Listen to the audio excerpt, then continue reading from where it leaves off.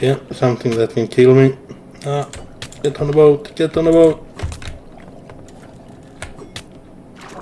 No, no, this is a quick world. Crap.